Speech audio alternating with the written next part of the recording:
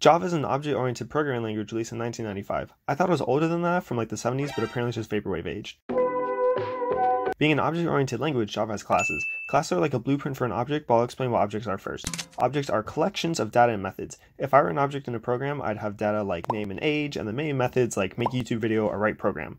I'd be an object to class person, the blueprint that states all people have data such as name and age, and maybe methods like breathe or speak.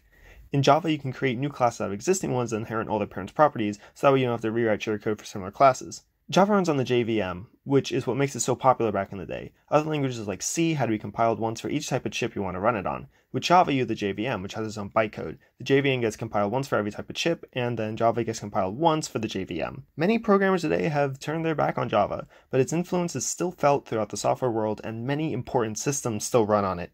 Just make sure you don't have to work on any legacy code.